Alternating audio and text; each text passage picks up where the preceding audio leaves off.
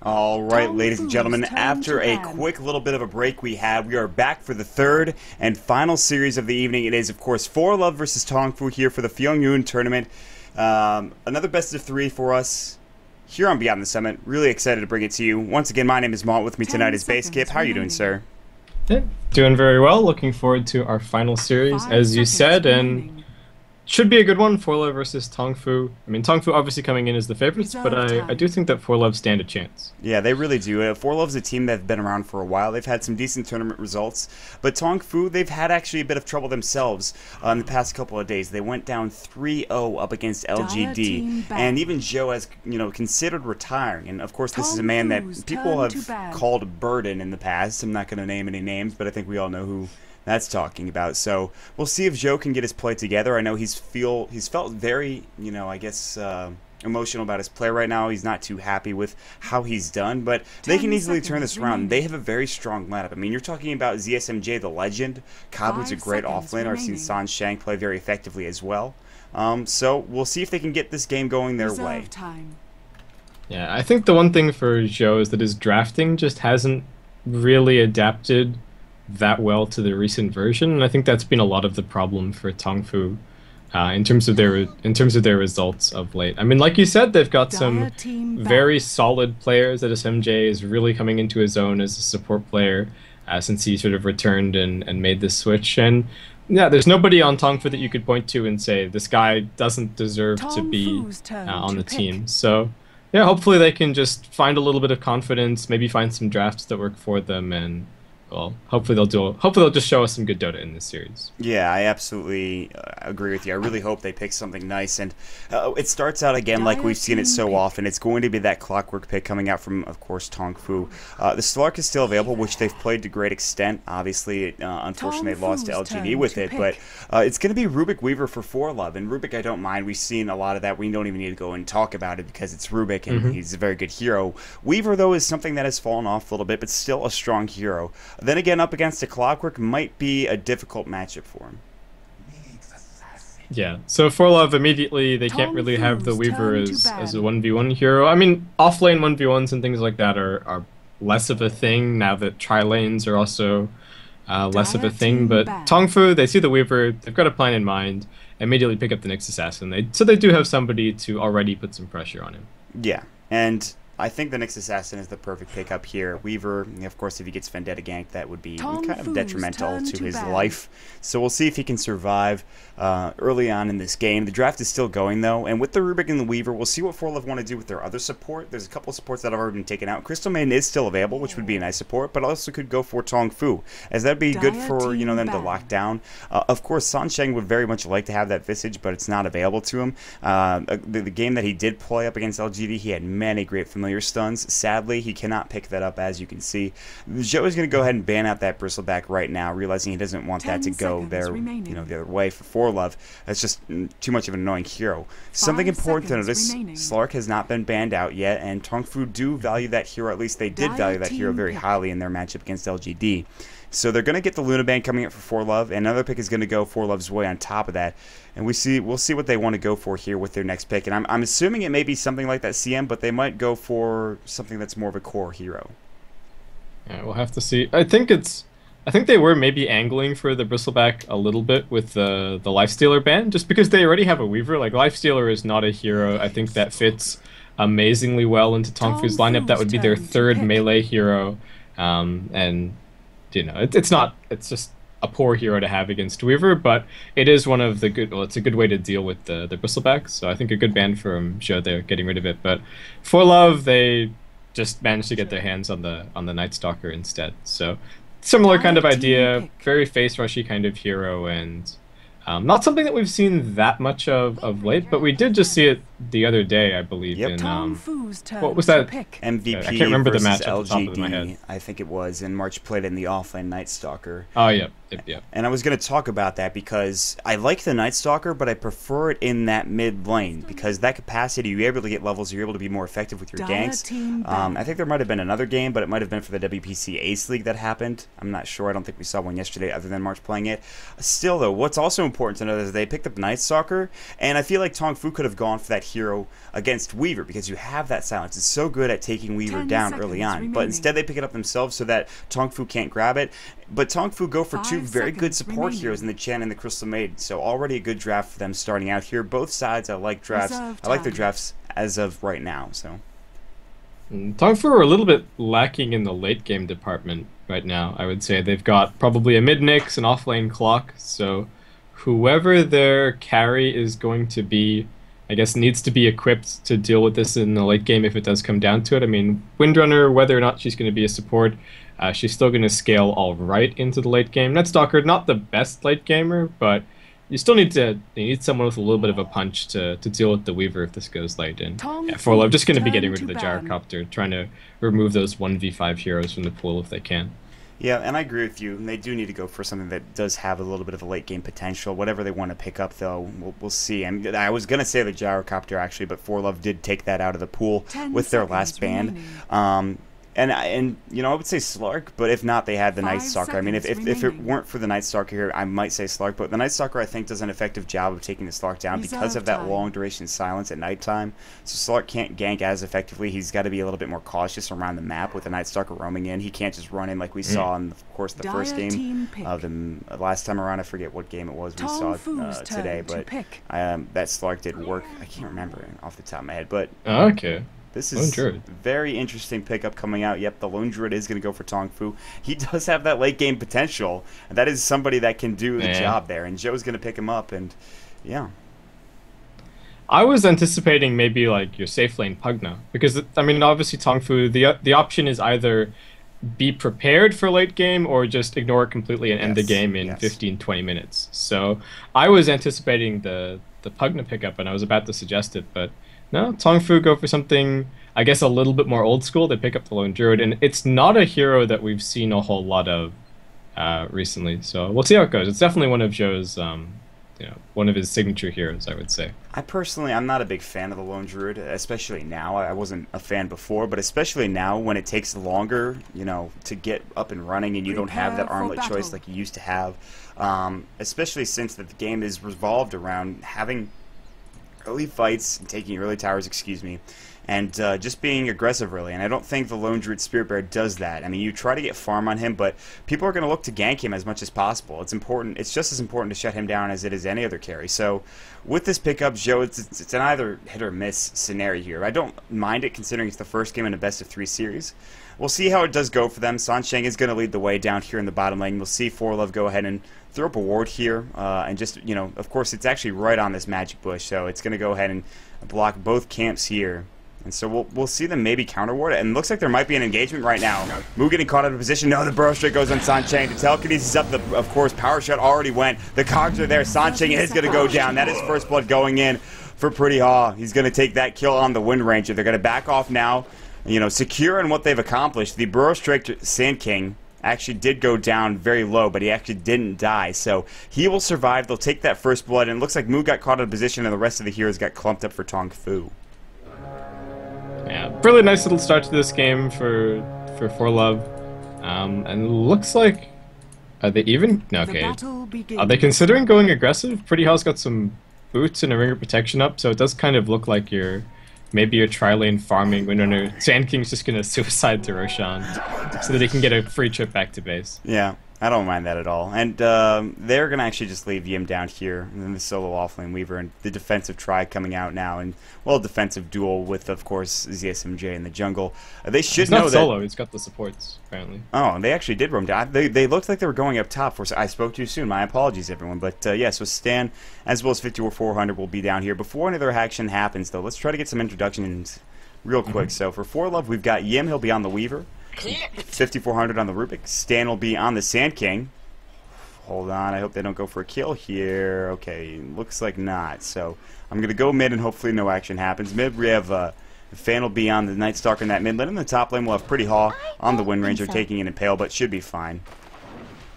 And very quickly on Tongfu, it's Kabu handling the Nyx Assassin, Mu on mid on the Clockwork, ZSMJ is going to be on his Chen. Uh, getting lifted on bottom lane is Zhou. To get Burrow struck as well, so it looks like this is going to be another kill for 4 Love. They're trying to turn it around on the 5400. He does end up dropping. Uh, and finally, we have Sansheng running away on Crystal Maiden.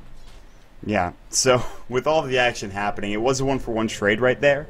Of course, they get the kill on Zhou, and that's a huge pickup for 4-11. I mean, just stop him from farming and get a kill going to your Weaver, or at least some assist gold or some assist experience, excuse me. So whatever you can get, really, uh, is fine for Yemen. Honestly, he is actually going to get got on the Sensor Khan, was coming in looking for a stomp, but he played that very well, backing what? right off. Yeah, that was... Phenol? Uh, yeah, Phenol, please. I don't know what that was about. That was like a BM pause from a, a spectator. I, didn't know spectators could pause. First of you all, can.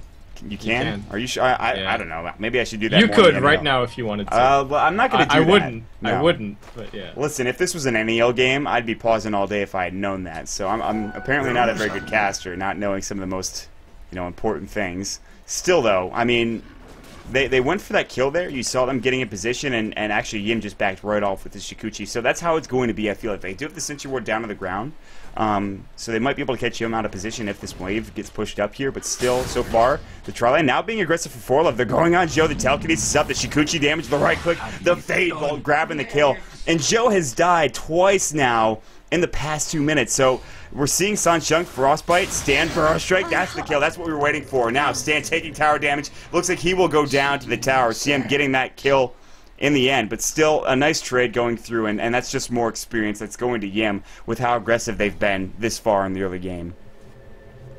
Yeah, and I think this is 100% the reason that we don't see quite so much Lone Druid anymore. And I think Tongfu could have, you know, they really could have seen this this happening. The fact that the Lone Druid could be aggressively trilined against. And he's not a hero that. The problem with the Lone Druid is, one, as you mentioned, he's only really got one build anymore. It's Midas into Radiance. And the second problem is that he only really has one lane, which is kind of solo safe. And with aggressive tri not being as good as they used to be um, anymore, you can't often make that. You know, you can't force that situation for the for the Lone Druid. And there's no bear for Zhou for a whole minute here, so he is he's in really big trouble. He's very sad right now, to say the least. But something we haven't looked at was, of course, any of the other lanes as of right now. We haven't seen Mu how he's doing mid, and it looks like he is doing fairly well with 15 last hits. Fans only on you know 12. Two men burst strike bottom lane. Net goes out, 5400. Looks like you might end up dropping to right click. He's at SMJ, but it's a two for one trade. Yeah, it might even be three for one. They're all said and done here. Stan has a burrow strike. He's about to use it. Oh, that creep. Yeah, he blocked him in. Oh my god, poor ZSMJ.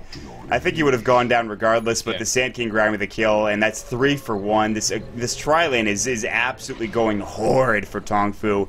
And if it's any indication of how the game is going to go, 4Love have a drastic lead now, and well, the good thing is Mu, like I said, is getting some farm in that mid lane. Up in the top lane, I think the Nyx Assassin's doing okay. He's got 10 last hits, but the Wind Ranger's sitting on 22. So two lanes going the way of 4 Love, two lanes that really shouldn't be, and then a lane in the mid, which is, you know, it's sort of even. Fan's not doing too bad. It is the first night time he's got boots in a bottle. Maybe looking for a gank in the Nyx Assassin. This is the timing for the Night Stalker. Kabu's got to be careful. He may know that they're missing from it. He's just going to, you know, back right off. He wasn't, you know, up at the creep wave trying to last hit, so smart play from Kabu being there. Down bottom, look at where Zhou is right now. They were actually sitting mid trying to find a gank. Instead, they leave Zhou all alone, and this is another death. There's a TP coming in. It looks like Burrow actually on the Baron. Maybe they're going to go for Sansheng instead. They'll grab that kill, and Zhou is just like, well, thank God it isn't me. Yeah, fortunately he managed to dodge out of the way of the swarm. Otherwise, they wouldn't have. They would have known where he was and probably would have been able to pick up that kill. But 4Love now doubling the kills of, of Tongfu. So SMJ is doing his best to head over to the tri lane and help out whenever possible, but it's really difficult for the Chen. Um, and I don't think he's had the best luck in terms Radiant's of creeps either. so. Um, I'm not sure what Tongfu do. 4Love can just keep this tri lane here. As you said, both of their other lanes are doing just fine. Fan is trading farm against Mu, uh, and Pretty Haw is absolutely crushing Kabu. So maybe we can see the Clockwork or the Nyx Assassin move away from top, uh, move away from their lane down to bot soon. But otherwise, things are just going to continue going exactly the same way. Yeah, I agree with you. And the scarier thing to think about is that Fan. This is nighttime Uh, but it's not the timing just yet. Can you imagine when he starts roaming to gank, how much they're going to do down in this bottom lane? They're doing it right now, but you know they're going to see that Fan is rotating through. They're going to expect something's happening. The six-minute rune will go. It is up in the top rune spot. You can see Moose spotted out, Fan down there. So now you can see Tongfu probably being a bit more passive down in this bottom lane. Maybe get back towards the tower. But this does mean that Yim gets so much room to farm. He's got 21 last hits, and he's actually not too far ahead of the Lone Druid, but that doesn't matter when you've got two kills, and Zhou has died three times. So uh, they will telekinesis the bear. They're going to work on him. It's very tanky Burrow Strike as well. I'm not sure if there's enough damage here. There's the Night Stalker. With the Night Stalker, it's enough damage. 300 gold going the way of Fan there. So another nice pickup. Actually, Wind Ranger is going to head back home, uh, it looks like, and has, of course, the Ring of Basilius and Ring of Regen. And if I wasn't crazy, I'd say that's a Vlad's, but no, it's probably going to be a mech. Um, and Urn is actually going to go out down to the bottom lane. So Fan's Urn is already done, which is nicely timed at the first night time. So you can see Mu is, and Tongfu's just sitting here, maybe looking to try to get something going, but it's going to be a tough fight for them. Yeah, and Kabu actually used his Vendetta top to drive uh, Pretty Haw out of the lane, so he's not going to have that ready to go for bot. It's only 30 se 13 seconds on cooldown here, so maybe, but for love, they're like, what, four heroes are off the map suspiciously. Let's just back away from bottom lane uh, and not risk anything. And looks like Tongfu might have just smoked on top of a ward. There was a lot of pinging going on. Yeah, they might have seen that. So we'll expect to see Four Love playing passively. I mean, yeah, look at where Fan is under this tower now. You can see that he's just going to sit back, void the last hit, and make sure that he doesn't get ganked here in this mid lane. So um, this has just been the play style coming out from four left. Play passively when you need to, aggressively when you can grab the kills. And in fact, they they know somebody's up on the high ground. I feel like hook shot's gonna go in, but now there's backup coming in from four left here. Move, shackle shot. He is gonna fall. Look at the counter initiation. The impale does come through. Fan in a bit of trouble. He's still tanky enough to survive. Silence up on Kabu. Void may be going if he gets enough mana, and will to do the last hit there on the Nyx assassin. Two down now for Tongfu. Great turnaround. They're not done yet. Burrow Strike comes through. The power shot snipe from the Wind Ranger to grab a third kill kill in that engagement. Oh, that's... Man, if you're Tongfu right now, you are just reeling. The, the expectation was that at least you were going to get the one kill on mid, but for love, they've just been playing better Dota. They've been proactive in terms of the warding. They spotted the smoke. Uh, and unfortunately, again, Zhou is still pretty much just a one-trick pony on this Lone Druid. He's going to keep farming for the next 10 minutes uh, if he can, and that means that the rest of his team has to fend off for love 4v5, which is a bit of a big ask. Well, I mean, he's not done yet. That's the thing, and he's gotten killed a lot. But and even though it seems very, you know, desperate for Tongfu right now, he's close to a Midas, you know, at least a Midas recipe, which is is something to get you started towards that later stage of the game. And if they can hold off right now, if they can hold off from getting engaged on, if they can hold off from any bad fights, maybe they get back into this. But for Four Love right now, they need to keep the pressure on. They know that it's daytime right now, so they have a time, a little bit of a respite to farm for Fan. He can use his darkness once he skills it up. He hasn't yet. Uh, Um, and you look at what Weaver's doing now. He's going to be going for seemingly a Linken's Sphere. And oh, not again. Another smoke on top of a ward. Poor Tongfu. Yep. They, that that ward was right there. They should have caught them out. At least the. Sorry, Maut. I, cu I cut you off. No, no, it's okay. No, I expect that from my co-caster when there's things happening. I actually prefer it, so appreciated. And they're actually going to roam up here into the top jungle. It looks like, and Yim may be caught out for the first time in the game. They're going to have to have the Vendetta and the Impale right after to lock him down. And they're actually splitting up right now with the Vendetta from Kabu looking and scouting things out. So um, the smoke actually doesn't accomplish anything. Darkness does go, and they're going to try to find Mu here. So as the smoke goes, Mu falls, it looks like, with one more Void to get the kill there. Actually, they stole Flare, doing some damage. Nightstalker does get that kill regardless with his right click. So he will back off now, and, and another kill going the way of Four Love, despite them smoking for Tongfu. And they'd like to kill Yim top, but not sure if they're going to be able to, and yeah, Sansheng already forced the TP bottom lane as Zhou gets jumped. So, I mean, they're just trying to get Zhou just wants room. Any room to farm would be would be great, and he's barely getting it now. He has only 37 last hits, which isn't bad, but Yim has 53. So not only is Yim keeping pace, he's setting the pace himself. um, with 200 gold and a perseverance in the bank. TP down bottom. Stan is in here. Power shot onto two. Stan, Vendetta up, Frostbitten. He's the first to die. Everyone's rather low. You can see the Rubik's way out of position. 5400 gets impaled. That's exactly what Tongfu needed. Those TP rotations were on point. Now Zhou picks up his Midas. At 1050, it's the start of something special for Tongfu, I feel like. Yeah, the one thing that's worth talking about is the fact that ForLife have a huge lead, but no towers taken. So, yeah, I would definitely wouldn't count Tongfu out of this just yet. And I think they've maybe, I think ForLife have maybe been a little bit too focused on dealing with the Lone Druid. Y you locked him out of the game early on. Take the 4v5 advantage and just restrict Tongfu's map control, which they didn't manage to do it all, and now Tongfu are actually doing a little bit of five-manning of their own. I'm going to start grabbing some tower gold if at all possible. Yeah, they are going to get pushed back for now. Tongfu doesn't want to fight into this, and I wouldn't be surprised to see them actually go and try to defend the other towers. The Shackle shot on the Bear, it's going to get lifted as well. Stan maybe looking at Burrow Strike and Will. Fade Bolt, not enough damage to take it down. They they committed a lot of mana for that kill on the Bear, and they couldn't get it. So um, that's going to be Tongfu making their way to the mid lane. Fan getting TP'd on right now, and maybe an Impale as well. He's going to take that damage and maybe be in some trouble. He will go ahead and silence Kabu. Mu's going to back off. They don't want to try to commit to that fight. They will deny the tower nicely, but up in the top lane, that's Yim taking another fallen. tower. That's a two tier one's gone in the span of about two seconds of each other, so. Yeah, and looks like ForLife realized, okay, maybe that dive on the tier 1 bot was a little bit of a mistake. They've got the mech now finished up on the Wind Ranger, just needs to get that delivered, and this is exactly what they need to be doing. Split push with the Weaver, and just continue to use the rest of their heroes to, to restrict Tongfu's map control. And we're just about to head into the next night as well, so this is a, a really big moment for ForLife to keep the pressure on. Yep, and now Fan, who has that Nighttime up for himself, he's got Darkness ready to go, he's got an Ogre Club, they're ready to start five manning or at least looking for kills across the map. You can see they're going for tier one tower bottom.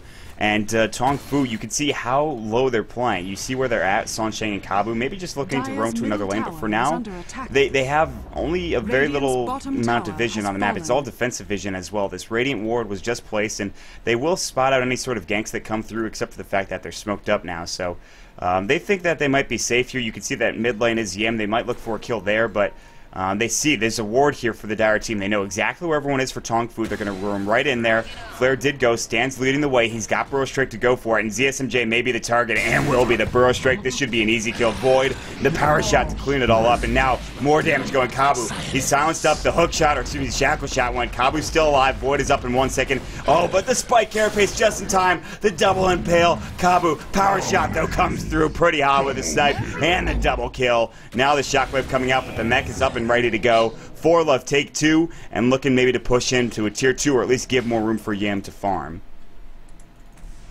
Yeah, and Zhou for the most one point goal at the moment, but I don't know if he's going to be able to finish a Radiance um, this game. And the, the question is as well, even if he gets the Radiance, does that win attack. the game for Tongfu? Because that's the moment where the Lone Druid is get, going to be at his absolute peak. Every minute after that, you know, ForLife are only going to get tankier. The Radiance burn is going to matter less, and the Radiance is the biggest item that the Lone Druid buys the the whole game. So while things are looking all right for Tongfu, I, I still worry, even if they manage to get that Radiance out.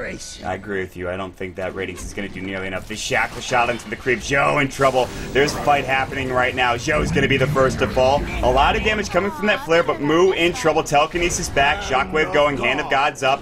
Uh, now it's level 6. Sansheng. He's getting the Frostbite off. It's a 2 for 1 trade thus far. Yim getting another kill. That's going to be on the clockwork while that all happens. Wildwing Ripper goes down. Yim trying to chase after Sansheng. So uh, another one that's two for one in the trade of four love, and Zhou goes down once again. So any farm that he had, he did buy his ratings, of course, recipe, which is huge before he died, but still he does fall.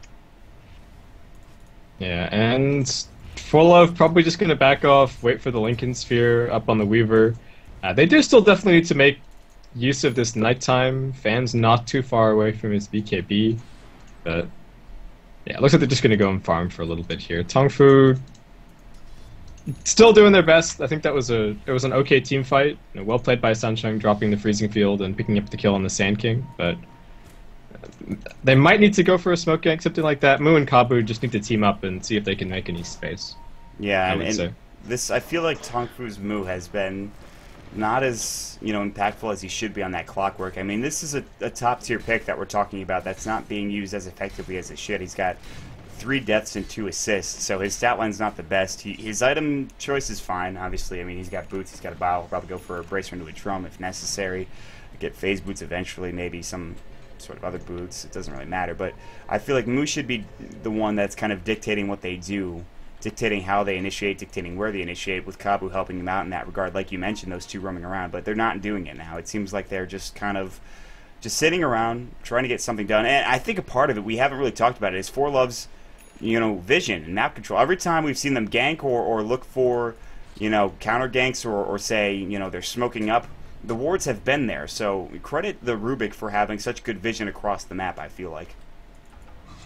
Yeah, and it's definitely the Rubik. Stan's just been farming towards his Blink Dagger this whole time, and he's actually getting very close um, as he finishes off that creep camp. So, yeah, it, Tongfu been playing at a massive disadvantage. We even saw them go for smokes. They attempted to try and find kills, but as you said, Forlove just spotted all of them coming, and especially that one smoke on mid, Tongfu were hoping to get one or two kills out of that. They got three deaths, and I think that was the the, the moment where everything really started to fall apart for Tongfu. Yeah, I agree. So right now, For Love going to continue to be in the driver's seat as they have point the lead at 10,000 gold right attack. now and 7,500 experience. So they're looking strong. They're looking for another tier two tower here, and in fact, actually blinking into the tree line is Sand King with his newly acquired Blink Dagger Epicenter, still on level one, but I don't think he cares about that. I think he just cares about getting a nice initiation off. So Sentry Ward is up for the Dire team, saying, okay, we want to have complete and utter control here, especially with a Vendetta roaming around from Kabu, but he'll sit under the tower, Vendetta's done. Uh, and it looks like they don't want to fight this. Blink got to come in. There's the Burrow Strike, hook shot in from Muon. on. A Cogs on two, keeping them in pinned in right now. Hand God's going to fly. Mech as well, going for four love. Mu in trouble. Freezing Field's going. Time lapse out. Stan taking damage from that Freezing Field. There's the Burrow Strike in. Fans haste is up. Shackle Shot Void. The damage there. Buyback coming in from a couple heroes. ZSMJ. The next to be chased down. Impale up onto two. Now still chasing. They want ZSMJ. They'll find him. Now the hook shot, or excuse me, the cogs up. Mu doing damage to him. Still three down on the side of Tongfu Zhou. He can't afford to die. It looks like he very well may. Fan just trying to work on Zhou. The Void. That'll grab the kill. Four down. Mu maybe the fifth and final nail in the coffin, and it will be. For love at 18 minutes in, the underdogs take down Tong Fu in game number one of this series. And I think GG is right. Very nicely played by For Love. They looked at the draft, they said, why should we give the Lone Druid any space at the start of the game? Why should we risk our offlane tier 1 uh, and have them get anywhere? So just very well drafted, very well played by For Love, and maybe Tongfu will be able to find their feet uh, in game two. Yeah, hopefully so. Hopefully we can get into another uh, three-game series here. But for now, we're not quite sure. Obviously, a very good start for Four Love in this first game. Uh, we will take a quick break, maybe even a smoke break for some of the team members between Four Love and Tong Fu. We'll bring you game number two in just a moment, guys. Remember, thank you for joining us here on Beyond the Summit. Make sure you follow this channel, of course, for all of the Dota action happening all across the world. Uh, once again, my name is Maut. With me is Basskip. If you enjoyed the action, if you enjoyed the casting, please go ahead and let us know in chat. So we'll be right back, guys. Stick around.